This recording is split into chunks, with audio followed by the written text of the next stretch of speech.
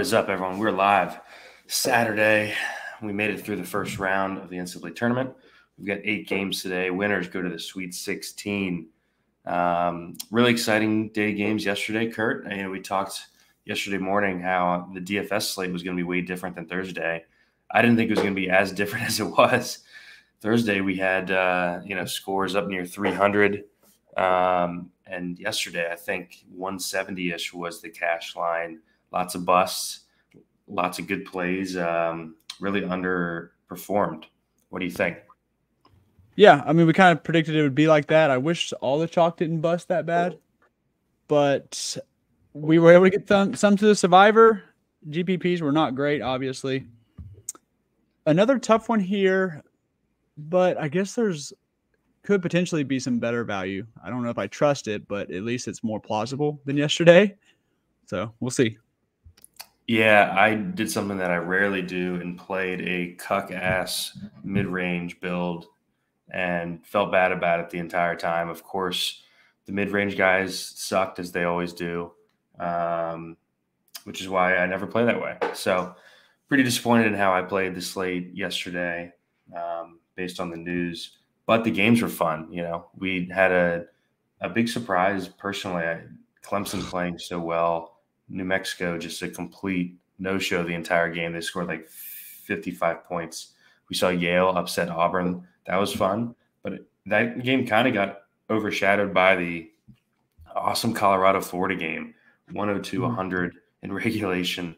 Uh, we kind of said yesterday on the show that that was going to be the best game of the day, and it definitely delivered. It sucked that those teams had to play each other so early in the tournament because, like we said on the show, two teams that we were really high on um, A&M put 98 on Nebraska and now has to go and play Houston. Um, that's a bet that I'll probably be on for tomorrow. Um, any other surprises for you yesterday? We saw Wisconsin uh, completely no show. Uh, it was kind of weird seeing Storr not really play that much in that game, even though they were losing by double digits the whole game. Uh, weird coaching decision by um, Greg Gard there. But you know, I've tweeted about this for months. It's probably annoying to some by now, but I told you Auburn is going to lose a game that Johni Broome plays 25 minutes mm-hmm. for like 24, 14, and three blocks. Was dominating the entire game. Plays 25 minutes and they lose to Yale. Um, I can't believe this isn't a bigger story nationally. I know that national reporters don't like to grill their best friend and Bruce Pearl, but um, man, he really fucked that up. And I mean, he's the reason that they lost the game. Bruce Pearl's the reason they lost the game. Um, just unacceptable, I think. Baker Mazara getting kicked out didn't help. Yeah, well, did you see why he got kicked out? He punched the guy in the stomach.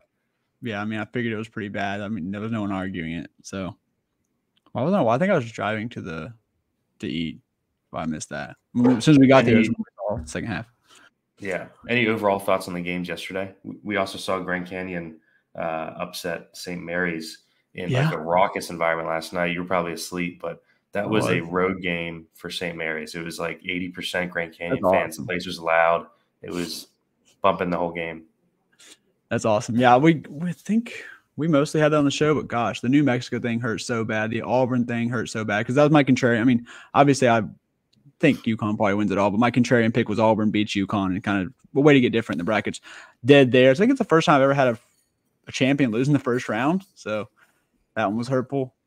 Um, it was so crazy though because we were like I think there was only one TV at the restaurant. We were switching between the Yale game and the the Florida game. And like, yeah, like everyone was doing that, and it was like, oh god! And then you had to look up, like, oh god! So that was a really fun time. I wish we had a couple more of those instances, but you know we can't beggars can't be choosers. So we take what we get. I think today's games are a lot better than what tomorrow's games will be. So let's get into it.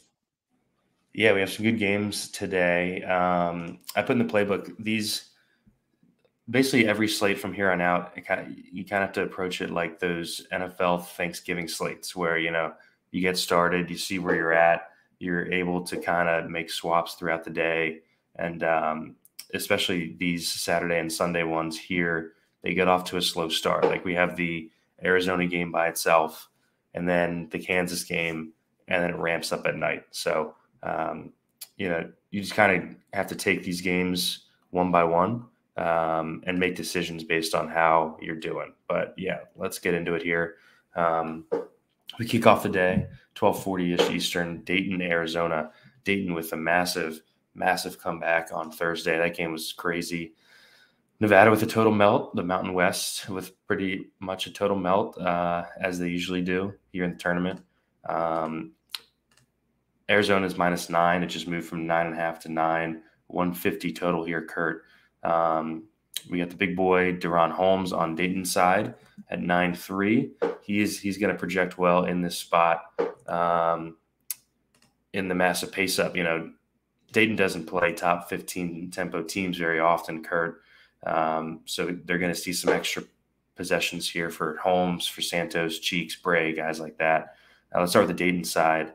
Um, are you paying up for DaRon Holmes today? As of now, I don't find myself, but it's a great matchup. Like guys like this have really gave Arizona fits. I'm sure you got into it in the playbook. They just the way he can space the floor, how quick he is, but he's he can, you know, he won't play small. So it's just we're not. I don't trust the value that much to jam all the value and play him because you kind of have to. I'd rather just stick in the 8K ish range. The decision for at least to maybe try to match the field if I'm able to in like 20 max stuff.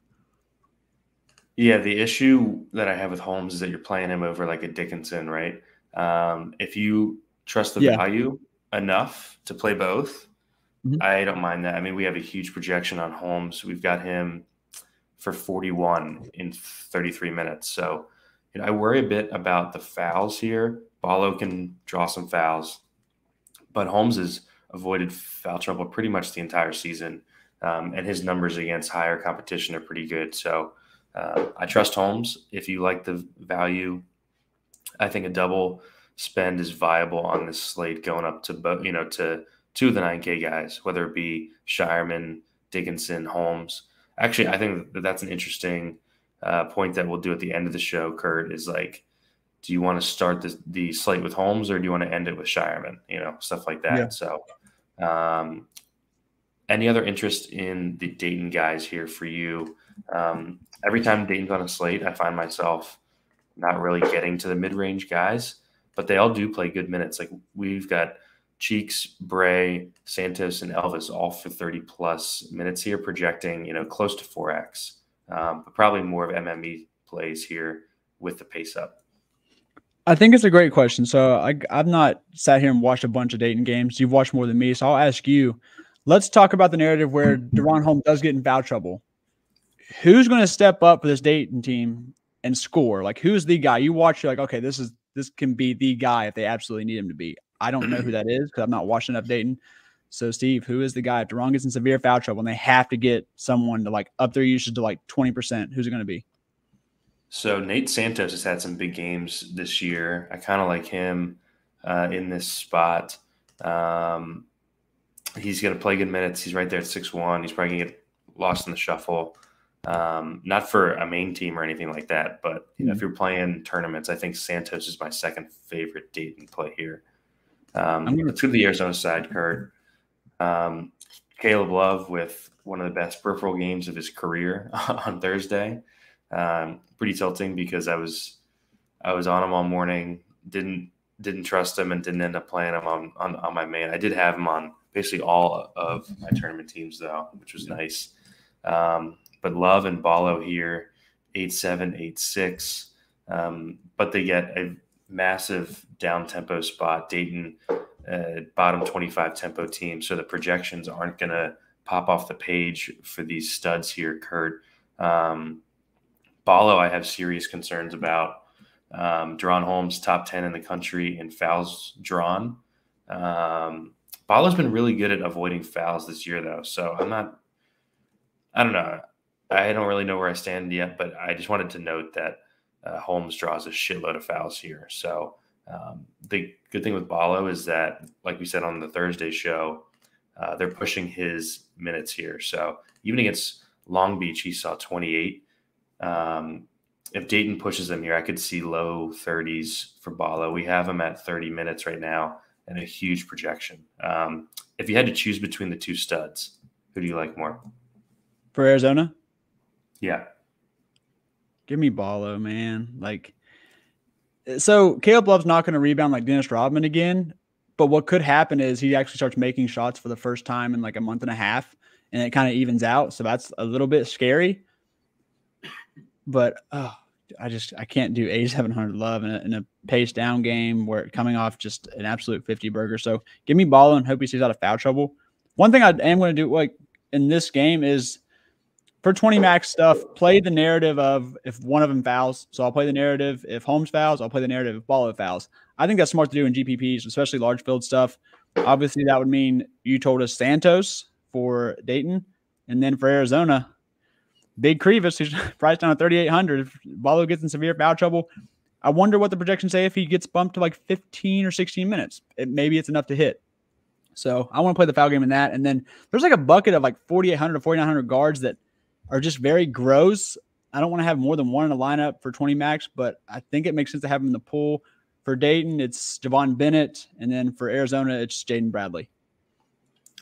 Yeah, I think besides Ballo, the best play on Arizona is Keshad Johnson. Yeah. We've seen his price come back down.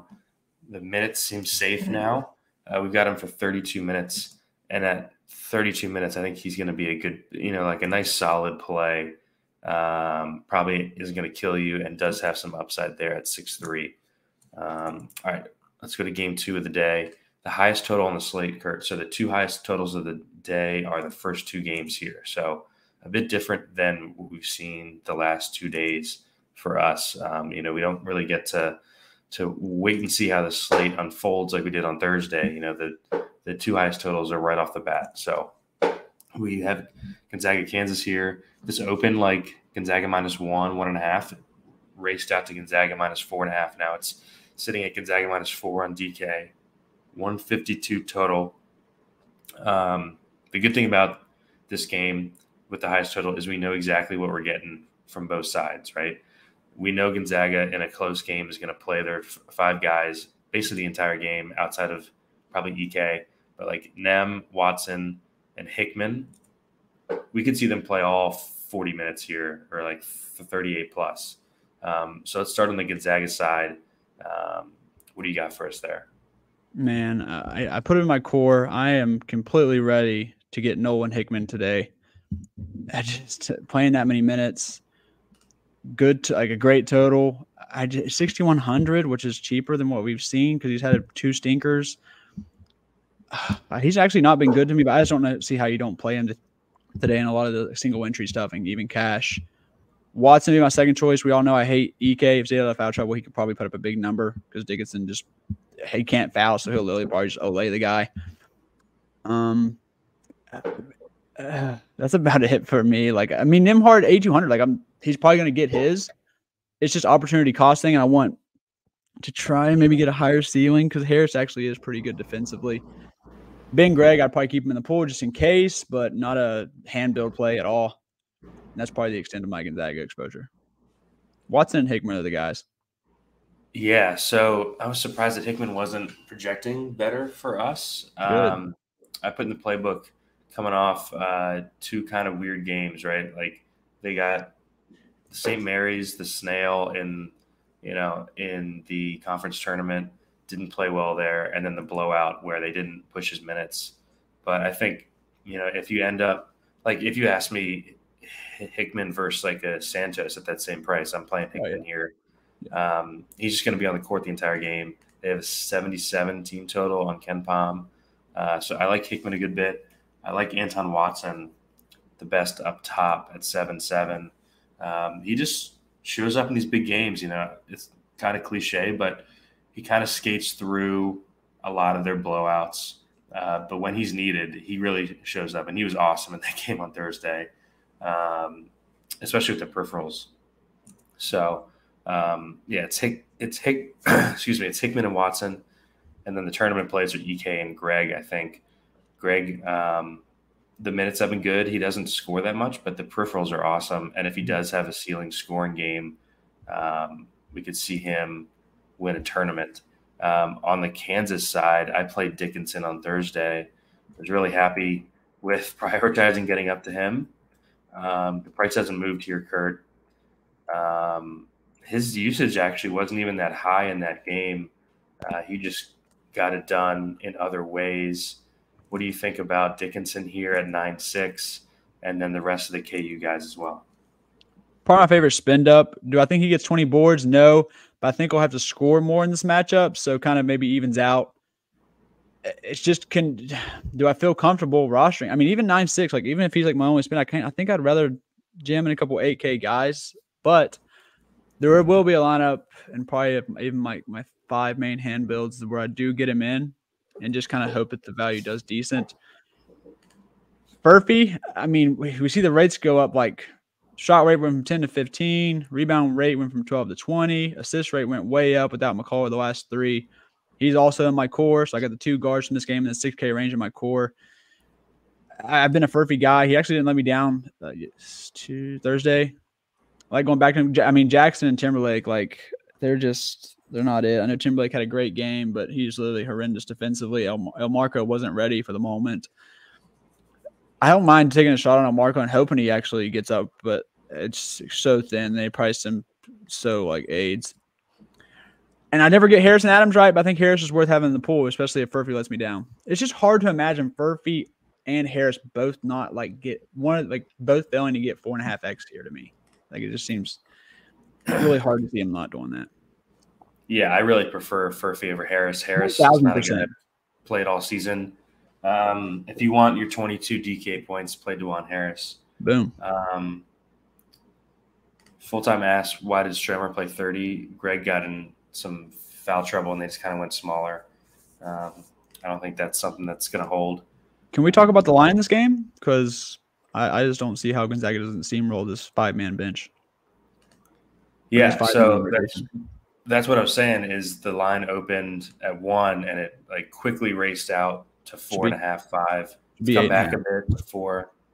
Um, yeah, I mean, I I've got Gonzaga in my bracket. I think that they win this game. Kansas has kind of proven that you know they aren't very good without McCullar, who's their most important player, even though Dickinson's their best player. Um, yeah, I think Dickinson, like in cash games, is is an easy click. Um, getting away from him in tournaments, I think, is interesting because I think he's going to be by far the highest owned um, like spend on the slate. So getting away from him is interesting in tournaments. Um, I'm going to play five today, uh, and I think I'll probably fade him on like two of them um, because we did see him like when McCullar first got hurt, Kurt, and we jammed Dickinson. He had like three straight four games, you know, um, and Ek Watson, they are good defenders, so uh, I think there are paths to him putting up like 35 here. And then if he does that, then other guys in that range can definitely beat him. What do you think about that? Like not going all in on Dickinson here. You're muted. I'm the same way. Like I would even probably go less if five. I'd probably only do two of them honestly because I'm just so. But I'm scarred from the time we were jamming him when McCullar was out at a good price so it's it's tilting. So I would be one lower than you if doing five, which I feel like will be a little, maybe a tiny bit under the field. I'm hoping at least. And just yeah. I, mean, I think there's a path where Gonzaga steamrolls them. There's at least a scenario where that happens. Like, I mean, Kansas might be worn out. Like, it's a short turnaround. They literally have no bench. I mean, they might get gas, especially if Gonzaga just goes tempo, tempo, tempo, tempo, tempo. These guys might get so gas, man. Yeah, I'm definitely on the Gonzaga side for the game. Uh, we'll see how it goes. Um, but you're right. I mean, if Kansas, if this line is true, like if they keep it close, it has to be because Dickinson just drops his log, right? Like there's no other scenario. Yeah, I mean, Furphy's gonna have to have a good game. I think he's yeah. a great play. Um, definitely a great cash play. And then I think the best tournament play on Kansas is actually KJ Adams. Um, you know, he's not going to leave the court no one's going to click them in the highest total on the game or on this slate. So, uh, but let's keep it moving. Awesome, awesome game here. Two blue bloods, Michigan State, Sparty against Carolina. This game's going to be great, Kurt. Um, more of a better real life game than DFS game, though, for, for me, which is kind of all of Sparty's games. Um, DK's got it. Carolina minus four, 140 and a half total. Um, kind of a sneaky under game, I think. Two top seven defenses on KenPom, Kurt. Uh, that's kind of been what's gotten Carolina here is, you know, they're not just running and trying to outscore teams, but they're playing great defense uh, behind Harrison, Harrison Ingram uh, in particular. Um, for DFS, for us, uh, do you like anyone here? We've got Hoggard under 7K. I think he and Malik Hall are interesting on the Sparty side. And then I can't remember the last time we saw Harrison Ingram under 7K on, on uh, DK. Yeah, points per value in this game. It's Harrison Ingram coming back to life is my play. Um, we saw the note that Jordan had about how Michigan State has a hard hedge. I know Ingram's not a slasher, but if he can just like shoot well this game and also give them any type of slashing to the rim, I think it'll be he could literally put up a huge number, double double, like 16 and 10, something like that. And maybe some songs and stuff too. I think it's a good GPP play. I don't know if I trust it yet for my main. I would like to, but it's it's, it's a little scary. As far as everyone else in this game, I mean, yeah, Bacot's probably up there. Maybe my second favorite, like 8K guy, RJ Davis. Tough matchup, but we saw how hot he can get at 8,300. It seems like a, a discount. I don't know if I can get to any of these other UNC guys, and then I'll let you kind of talk about Michigan State. Yeah, I think my favorite Sparty play is Hoggard. Um, going to play a ton. Going to have the ball in his hands basically the entire game. Um, wish he played a bit more minutes in that first round, but they did kind of blow him out. So, you know, we're expecting low 30s minutes from Hoggard. He projects well. Um, Tyson Walker at seven eight, a bit tougher for me, but man, um, good good tournament play in in the 7K range. Um, he's pretty scoring reliant, but they do get the pace up. Just a tough defense there. We've got good projections on both Hoggard and Tyson Walker. I just think Carolina uh, plays re- really well here and gets the cover in this game. Uh, I bet Carolina minus the four. Uh, I think you can find some three and a halfs out there if you shop. So, uh, but yeah, I think Harrison Ingram is the best play in this entire game. Um, I think he's one of the best tournament plays on the slate. We've seen him have some sleepy games, you know, down the stretch, but we've also he was also up over 8K for a, a reason there for a while. So um, no reason that the rebounding is just gone. Uh, I think it'll bounce back, and this is a good spot for it. Sparty doesn't really scare me um, at that four or five spot at all defensively. So um, all right, let's keep it moving. Speaking One question for you, Stevie. One question. Yeah. I know this isn't the pace game that Caleb Love had, but is Harrison Ingram play the Caleb Love play from Thursday? Um, it's a much worse game environment, it's but true. and he's not going to be as owned as Love was. Um, but I mean, it's a kind price of. play, right? I think this yeah. is more of like the Mm, it's not as good as the Tristan da Silva play from yesterday, but it's that same price range where it's like a guy we just haven't seen him priced down this low. It was like DJ Horne yeah. from Thursday. It's like, wow, this guy's a thousand less than he has been for the last two months, right? Yeah. Um, Somewhere a mix. So yeah, I think I think Ingram is a really really good play, uh, and I think he's going to get lost in the shuffle here. Um, all right, let's go to a defensive battle here uh, Wazoo against Iowa State. It was awesome to see Wazoo get past Drake. Everyone picked Drake, which was pretty funny. Um, but we've got Wazoo and Iowa State here with the lowest total on the slate. Uh, Iowa State minus six and a half, 129 total. Um, but we've got, you know, the Wazoo pieces are priced down here, Kurt. The guys that have carried them are all under 7K. Um, Myles Rice, the Frosh, uh, has been awesome, but don't really love him here in, in a lower scoring game. I'll probably go to the guys who don't need to score to get there, which is Isaac Jones and Jaylen Wells. Jaylen Wells has been has been great down the stretch. He was good on Thursday.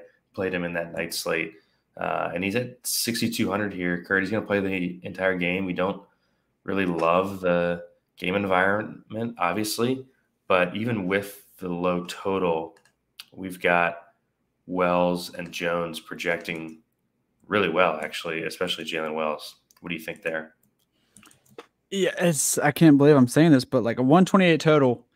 But Wells will kind of avoid the teeth. I mean, this defense doesn't really have many holes, but he will avoid most of the teeth. The Iowa State defense rates the last three 20% shot rate, 21% rebound rate, 30% assist rate. Like most of the guys coming in with those rates last three, you think are like 7.5K. I know it's obviously lower because the total and everything else, but I can't believe I'm saying this, but like it might be a main team play consideration in a 128 total, which scares the living shit out of me. Yeah, he's been awesome. Um, hmm. and he's going to play every minute. He's got 39 in back to back games. Um, the like the 6K range is better than it was yesterday. I, I didn't. Oh my God, it was non existent yesterday. Non existent. I was pissed because I kept coming to lineups where I had like 6,500 left and there was not one play that I wanted to use in that range. And today we already have two or three. So, um, yeah, I think Wells is the best play on Wazoo. My tournament play here, Kurt, you were going to love this. Oh, God. This is a Kurt special here. Um, so the freshman Isaiah Watts off the bench had a big role down the stretch playing low 20s minutes. For some reason in the Pac 12 tournament, he didn't play. Maybe he was um, sick. Was he sick? No, I don't know. I was saying maybe something was on. Something yeah, because he was playing good minutes very consistently down the stretch. Uh, it's basically like their bench score, um, a good bench piece, and kind of gave up on him. Well, I did. Uh, and then the first tournament games, he plays 22 minutes off the bench, was basically the first guy off the bench. Um, so before the Pac 12 tournament, he played uh, 16, 28, 15, and 26 with a couple of really good games in there. Um, he's super talented. Uh, the O rating is good. I wish he was a bit cheaper than 4 4, Kurt, but mm. I think I'm going to play him on one of my five as a cheap guy because everyone's going to use the same cheap pieces. And I just need him to beat um, one of those guys. So I think Watts is really interesting for tournaments only, obviously. Um, because we're not sure if the role is sticky. But if he does get low 20s, uh, I think he is definitely interesting. Um, any interest in the Iowa State side? We've got Lipsey and Gilbert kind of priced up a bit in this spot, I think. Yeah, I think everyone's priced up. For Watts, would you assume that Watts is able to handle that ball pressure from Iowa State more than Husseini could, even though he's a fresh? I'm not sure. I just, you know, if they're going to use him for 20 plus minutes off the bench, then he's yeah. in play. Double watch you know? season. For Iowa State, it's honestly just Hason Ward dart for me, and it's extremely, extremely risky. Just you probably need some fouls and other stuff to happen. If he gets 20, though, I really like his rates and stuff. Hason Ward, a good, solid fantasy per minute guy, 4,800. Probably like a 10th lineup guy you put in. I don't have any interest in any of these other guys, man, like at all. Which is, I think they're I don't know. Yeah, just just Ward on the Iowa State for me. Yeah, and the Wazoo guys are max one, obviously, in this game. Yeah. Um, let's go to Oakland, NC please. State. Wow, the uh, was this an eleven against a fourteen here, Kurt? Uh, couple upsets in the first round. NC State continues the run. They looked good, man. Like I put in the playbook. Um, people weren't buying in coming into that first game, but you know, this is this is a different team now. We've got Mo Diarra playing 38 a game and rebounding his ass off. Like it's a different makeup of the team. Um, so I'm more apt to to buying into big changes like that, or to like hot streaks when there are meaningful like role changes and personnel changes that go along with it. Right. Uh, that's kind of where we were with Colorado, it's was just them getting healthy. Here, it's Mo Diarra is now playing max minutes and rebounding his ass off. Um, he's got another great rebounding spot here against the zone. Um, I think Diarra and Horne are great plays here in the low 7K range. Probably won't get to any other NC State guys. Um, I played, like I said, I played such a bad lineup yesterday living in the 5K range with like Friedel and uh, Brandon Newman and that bullshit. Those are the O'Connell and Casey Morsell plays here. I will not be touching those dudes. Um, know, but I know that you want to talk about a cheap NC State guy. Go ahead and uh, talk about NC State here.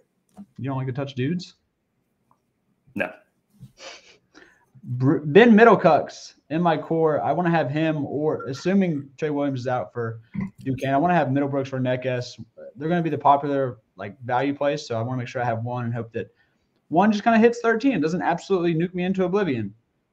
I mean, he's played well down the stretch. Like, I mean, they could burn. He actually won in that game on Thursday. He looked good. There's another game like it down the stretch. I don't know if it was two, three, four games ago, maybe right before the ACC tournament, but he like did awesome closing the game. So something to keep. No one's gonna have him too. No one's gonna play Middlebrooks. I think it's I think it's a fine play. I mean, like I don't think you're dead if he gets you 12. I mean, if you make it up elsewhere, to be honest, we saw what happened yesterday. Like I cashed all kinds of bums. But yeah, so Ben Middlebrooks or Necas, and then DR, we've seen these teams like rebound against the zone and historically against Syracuse, not this year, but before, like these good rebounders just can go nut nut against zones. So I'm excited to see DR. Hopefully, he just crashes like a maniac and gets all putbacks and whatnots. Horne still a little too cheap, so I'm going right back to that well. On the Oakland side, I I, I don't know. I might just like go lucky nuke me into oblivion today, which will not be fun if he does. Yeah, uh, I really like DR here. I'm going to let other people play the Morsells and the O'Connells and get their 18s. Um, not a chance I play those guys. Um, on the Oakland side, Kurt, and freaking Gohlke cost me uh, mania. If he just hits nine threes instead of 10, I move on. Just That's so wild. crazy. Um, but we've seen all the Oakland guys get priced up after that Kentucky game. Um, the big thing here is the return of Rocket Watts off the bench. Seemed pretty obvious that they wanted to get him the ball and get him usage. He's at three seven. I think he's an easy core play. I think he's easily the best cheap guy on this slate. He should be super high owned. Um, besides Rocket Watts, do you have any interest here? We have Gohlke up to 7K. DQ Cole's up to 6,200 and uh, Townsend up to 8,400.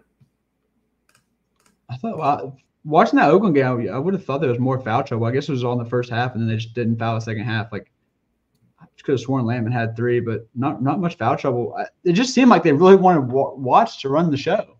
Because I, I had DQ Cole, I was sweating him, and he did get there, but my God, did he have to be efficient because it just seemed like everything was running through Watts and Townsend. That's it. And then obviously go like off screens and just chucking.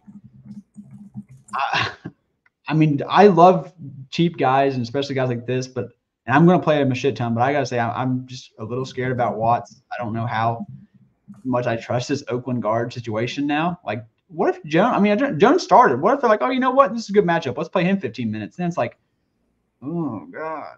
I know he's only 3,700. Well, I'm going to be overweight, but I'm scared. I'll say that they need Watts to handle the ball. I think Watts is clearly the best value on I the entire. Cole does a good job though, which is why I was like, "What the fuck." Um, all right, a few moving. We got three games left. Um, Texas, Tennessee, the Rick Barnes Bowl here, Kurt. Um, Texas beat Colorado State in perhaps the greasiest game of the first round. It was like 56 44 or something, just terrible. Um, I think Tennessee plays really well in this spot. Um, DK's got a Tennessee minus six and a half, 146 total. Uh, I took Texas's team total under 70 and a half, Kurt. Uh, I like that look. Um, but for DFS here, we saw Tennessee kind of in a cakewalk in the first round. Uh, so they didn't push minutes on their main guys. Uh, I think the best play on the entire slate is in this game. I think Jonas Aidoo at 7K. Um, man, if you can't play him here, you're not playing him the entire season. So uh, Aidoo will be in my main lineup for sure. I think Knecht is interesting at 8.5, um, especially as like a pivot to the more popular spends on the slate. Where are you at with this game? I love this game. I, I kind of hope the refs let Aidoo and gosh, well, speaking of foul trouble, like Disu got away with a couple of stuff the other day, and he still got in foul trouble. So I'm hoping the ref just literally just doesn't look at some of the stuff Disu does and lets him just foul like crazy. Same thing with the dude. I hope he doesn't get foul trouble because I'd really love to see these, both these guys able to play max minutes. Love both. I think Zeigler is an awesome floor play with ceiling is there. Sub 8K, I like it. Knecht and Hunter should be going at it. Like Abmas and Zeigler should go at it. This is going to be such a fun game. And then you got the two big, like, I love the individual matchups in this game. It's literally getting me stiffy. But uh, as far as I'd rank this Tennessee side, I'm going points for value. Who I trust more: Aidoo, Zeigler, Knecht. Love all three. I don't know if I can get to the ancillary pieces for Tennessee. I can't get to the ancillary pieces for Texas though. Abmas Disu, uh, Hunter's probably too expensive, but I know he has his games. Horton, I'll probably throw in. And then, I mean, you can get the other guys in the pool, but that's really the extent for me. But I like a lot of guys in this game. I'll probably have a mini stack here. Yeah, Disu under 7K, man. But like, he deserves to be under 7K. He's fouled in like six straight yeah. games. He's gotten away with stuff too. Like that last game, he should have had seven fouls. Yeah, I mean, he he doesn't know what the fuck he's doing out there. Um, yeah, so I think Disu's a nice upside play. Tough to put him on a main team, mm-hmm. um, and it's not like it's a good matchup, right? Tennessee uh, could just put the clamps on Texas here. He has to um, be able to shoot. He's got to shoot and make a shot from perimeter. Yeah, uh, this is going to have to be a perimeter game for him. He is a great shooter uh, and just avoid fouls. So, yeah, I think he's a good play. Um, would scare the shit out of me to use him on a main lineup though, because uh, you could just get an extreme foul game. Plus, you know what I can see happening real quick? I, like they do that pick and roll, and then or not even pick and roll. They just have guard gets penetration, lobs it up to a dude. Disu goes over to help, and then tries to like recover and just literally hacks the dude twice in the first five minutes. I can see that happening. It's yeah. so likely to happen. but yeah, Aidoo and Knecht are the best plays in this game. Um, Zeigler, I think, is interesting for tournaments. No one's going to play him. Um, and I think Tennessee has a bunch of success in this game. I could see them winning this game pretty easily. Um, all right, two games left. Uh, the Nightcaps, Duquesne got through. Uh, that was one of the first games there on Thursday. Um, and then Illinois, man, their offense is just clicking on all cylinders right now. Kurt behind God mode, Terry Shannon. Hmm. Um, he's sitting at 9 1 here. Uh, he seems pretty safe to get you like high 30s, 40 plus. The issue is Duquesne, a little bit more of a defensive oriented team. They play a bit slower. Um, will they run with Illinois? I don't know. But they do have an 80 team total here, which is the highest on the entire slate. So, you know, we had higher game totals earlier, Kurt, but this is the highest team total on the slate. Your guy, Coleman Hawkins, 7 1 he just kind of had a ho hum 28 in that first round game without really doing anything. I think he's a great tournament play.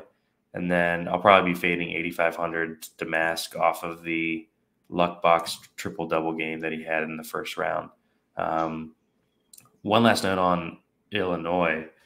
Um, man, this is this team's ceiling is a bit different if they're going to get what they got out of Dain Dainja the last couple games. He looks noticeably thinner out there. like I think that's the reason that that he's he running the court, Steve. Steve, he's running the court. He's running the full court, and so out, and out running dudes. Yeah, so like that's my theory as to why he wasn't playing all season. Is like they just told him that he had to get in shape. Like he, it looks like he's lost like twenty pounds during the season. So now that he's lost the weight, he's back into the rotation. Um, and man, he looks good. I wish he was cheaper. Like if he was like mm-hmm. four eight here, uh, I think he'd be an awesome play. So at five six, it's kind of tough to click him, but definitely a guy to to keep an eye on here. Uh, let's start with the Illinois side. What do you like here? So there's two big questions this game, and you've mentioned it. Will Duquesne run with them? If so, it's a great game environment. And then will Illinois go big and try to just assert their dominance with Dainja? We don't know what his minutes will be. We don't know if they'll go uh, big or small. We don't know if he'll stay out of foul trouble. So that's why you can't really risk 5600 unless you're doing large field stuff because you don't know if he's going to foul or even get the minutes. I, think you can play lineups based off what you think happens for both those scenarios. And Illinois side, I think Shannon is. If you upgrade the four hundred dollars playing Shannon over Dickinson, you love the upgrade for four hundred dollars. I think he's a better play. If not, then I'm obviously ranking Dickinson above him. But I really like Terry here. He's just made for March I don't think this run ends here. I think he'll just keep absolutely nuking. and I don't think anyone on Duquesne can slow him down. Besides, if they slow the pace down extremely, extremely slow, and limit the possessions. Hawkins, I mean, the 50 burger's coming. If they keep winning, it's coming eventually. Domask got all the peripherals yesterday, so it's kind of hard. And it probably will be hard when Domask is getting all these peripherals, but it's coming. 7,100. It's nice to get a 50 burger. That's all I'm saying. It's out there. Yeah. 7,100 Coleman Hawkins.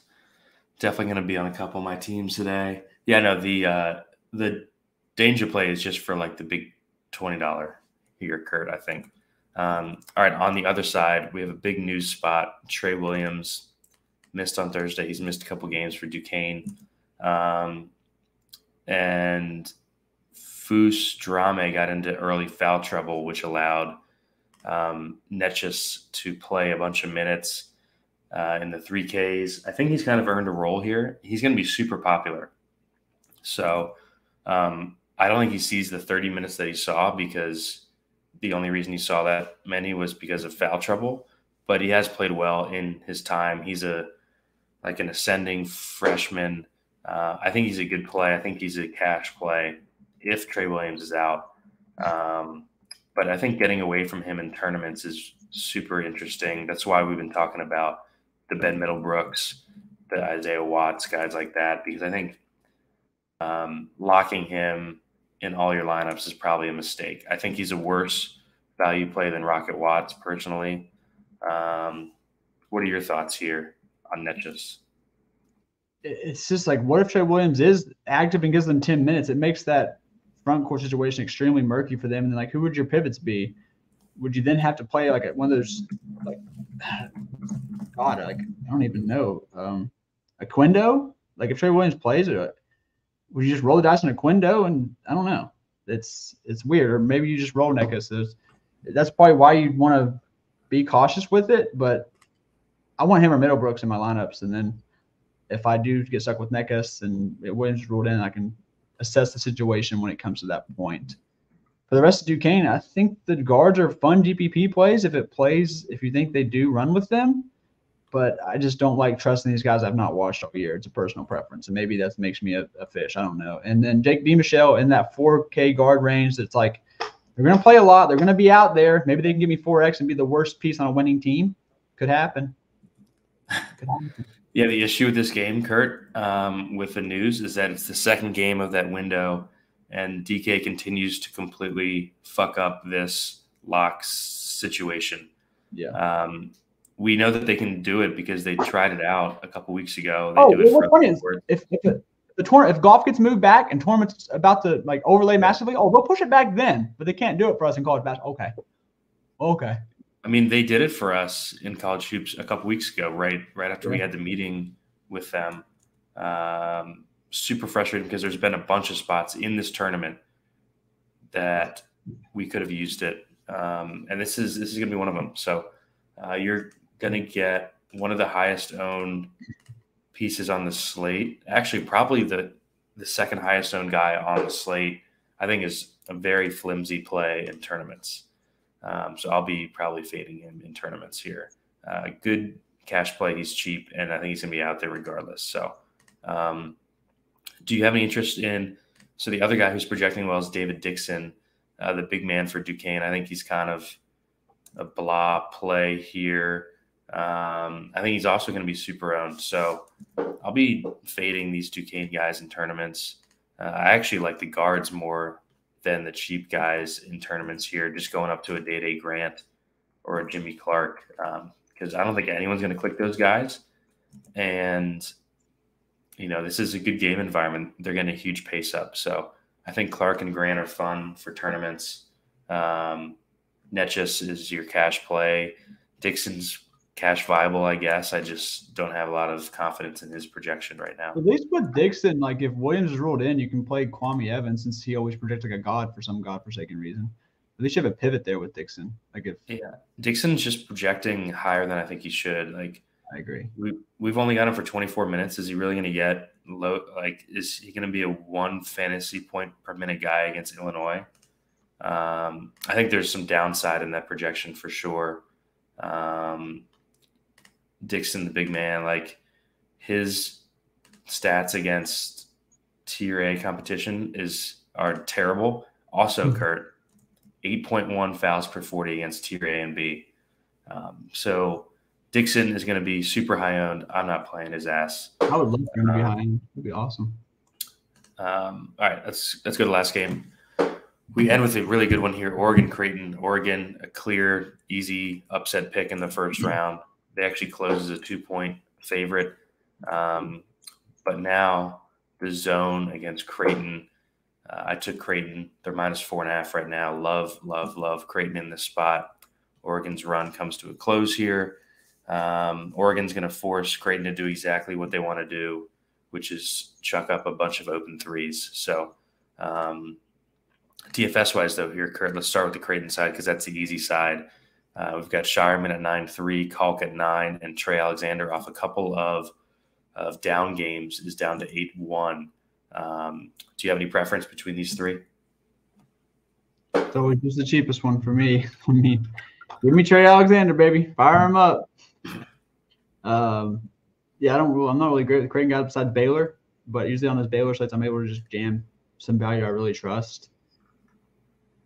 I, like Baylor, Dickinson, and Shannon are really going to be a tough call for me, but I think it's obvious you you go Shannon and Dickinson. As far as anyone else on Creighton, I, my core, I got I want one late hammer piece from this game, so I put Ashworth or Shelstad just a personal preference. I want I want a piece in this game, and because I, I, want the late hammer, because I want a piece of action in this game. I think it'll be awesome. So going two six K guard options who should play every minute and have solid usage. I think their forwards not horrendous, and I think they can have upward high thirties fantasy point game. Yeah, I think I think Scheierman and Alexander are the best plays here. Um, going to have to deal with Dante the entire game. Dante has been so good down the stretch. It's like Shaq down there. That's why it's going to be a perimeter shooting game for them, which is why I, I even like Ashworth more. Yeah. I don't think they want to take it into Dante. And then the Oregon side, six straight games of 38 plus DK for Dante Kurt. Um, finally healthy, playing great. Has to deal with Kalkbrenner here, um, but so did Enrique Freeman, and he went for what 48 DK on Thursday. Just owned my soul. Um, they always comes in low own. Like no one ever plays this dude. Um, I think he's a really interesting contrarian guy who's consistently shown upside. It's not like you have to theorize that he might have a big game. He has a big game every time out. Um, so I think Dante is super interesting. He played 36 minutes in that last game, Kurt. Like with his rates and his you know, rebound and block upside, if he's playing mid to high 30s, I think that he can beat these other guys up top. Couisnard, don't have as much interest in. Um, man, he was good in that Carolina game or in that South Carolina game. Um, 37% shot share in the last three games is out of this world. Uh, I think I just rather play Dante, but Couisnard, man, it's hard to ignore what what he's been doing. Um, and then Shelstad in the mid range. Another guy that I, I would have played at six five yesterday if he was on yesterday's slate to avoid those fucking idiots, Newman and Friedel, who I didn't want to play all day. Um, but yeah, I think he's a reasonable play, probably more of a cash play, Shelstad. Uh, more of a floor play, floor play there at three seven, and then Jadrian Tracy is going to be out there for 30 plus minutes. He's kind of the same play as DiMichele, I think you know, just if you end up there as a last man and you don't want to change the rest of your lineup, I think you can use a DiMichele or a Tracy um, in that spot. Um, any last thoughts on Oregon here? Thoughts on Dante? Uh, I'm I don't. I'm just a little bit scared about Dante. Scared about the block up side. He's been awesome. I think he gets like a just a saw. I think he looks like a real life awesome player, and then he puts up like 35, 37 so his overall impact on the game is massive. But then you look at the like the fancy points, like oh, only like 35, and then you see all the other guys outscore him. He's got 38 plus in six straight. Today, here comes 35. I'll give him 37. I still think they're out. The AK guys can outscore him, but I like I, I think his floor probably is 32 here. Like he's just a, stud, especially if he stays out of foul trouble. Um, yeah, that's I, I like Tracy. I just think he's fine. I'm throwing him in the bucket of the 4K guys. I know two of them play like max minutes, and the other two play like 20 ish. But I could see one of them, the sub 5K guys, getting there if your build needs it.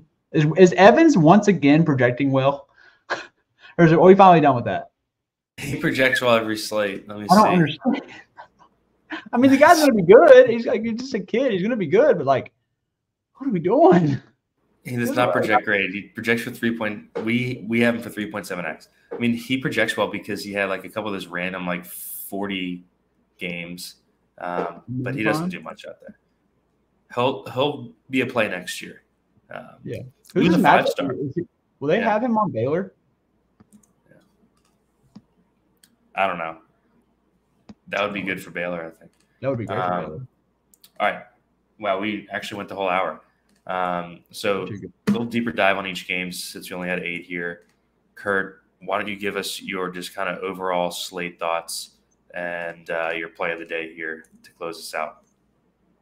Similar to yesterday, but I'm not going to be scared to like get too crazy because I think that the 7K and like the, those shocker options, I don't think there'll be too much shock as much as yesterday. But I think I want to go back and just trust the projections here and maybe uh, let other people get too crazy. I kind of do want to rotate my value a little bit outside of like I know Watts and Necas are going to project the best. Maybe get different and not having both in the same lineup and kind of just going a little bit more balanced with only one, like one of those 4K guys I mentioned. And then, like you said, Steve mentioned Watts too. So that's another 4K guy you can throw in there to get different than the two chalk values. Um, and for my play of the day, I don't want to curse him. I don't want to curse him either. Oh gosh, Steve, give your play of the day. I got to find someone I don't want to freaking. All right, so I'll go with my slate thoughts. Um, I think this is the best tournament slate that we've had so far in the three days because I think everyone's going to play what like there's a pretty clear like optimal route I think on this slate. It's a pretty easy cash slate for me. Um, I think there's some really good fades for tournaments. Um, those would be the Duquesne guys who project well, the cheap ones. Um, you, you have a guy with a flimsy role who everyone just saw play 30 minutes because the starter fouled, and David Dixon, who's got a foul rate over eight per 40 against actual competition. Um, and then I just think there's a lot of good like tournament type plays on the slate. Um, I just starting from the top, my favorites: Anton Watson, KJ Adams, Harrison Ingram, uh, and Horne, Dalton Knecht, the Duquesne guards up top, Terry Shannon, Dante, Creighton guys Coleman, like Coleman Hawkins. yeah, Coleman Hawkins. There's just a lot of good upside guys that I think are going to come in lower owned based on what I've seen with ownership projections. I think a lot of ownership is just going to condense around the optimal today. I just have that feeling. Um, and there's a lot of guys who are going to come in under 20% who have slate winning upside, guys that we've been playing all year, like guys that we like. So that's why I like this slate a lot. Um, actually playing more tournaments than I usually do, Kurt. So I've joined the dark side with you here. Um, I just think it's a really, really good tournament slate. Uh, and we have good contests. So uh, we've got 20K to first and the $20 get in that. Uh, we've got a good 222, good 44. Um, if you want to join us for the rest of March, use code March15. We've got playbooks, core plays for every slate. We got projections for every slate. The Discord is super active.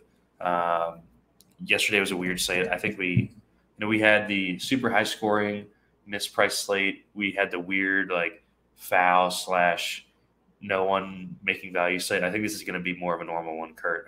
Hopefully, uh, Yeah. and, and and we do have some good. Um, we do have some good games too.